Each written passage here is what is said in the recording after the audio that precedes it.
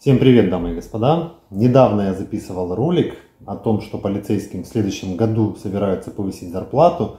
Люди начали возмущаться, но давайте не спешите. Есть же много достойных полицейских, которым нужно поднять зарплату. Вот, например, вот этот вот. По яких?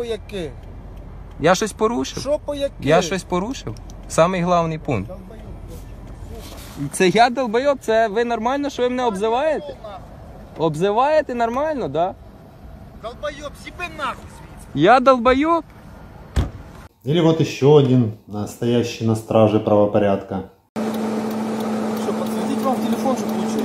А? Подсветить телефон? По поводу? Ну, вам чтобы лучше снимало. Но я снимаю, не... а что, это запрещено? Я говорю, подсветить вам, Зачем? чтобы лучше, говорю, было. А що? А, добре, що? доброго ранку.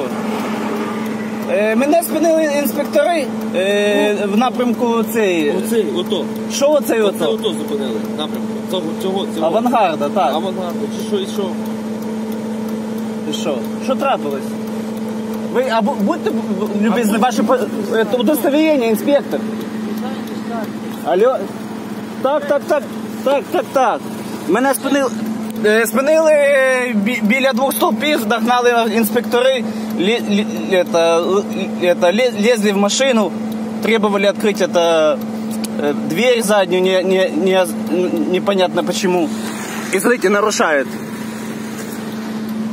Да, да, догнали мене в напрямку цей авангарду. Или вот целая группа полицейских, о которых я прочитал на сайте ГБР.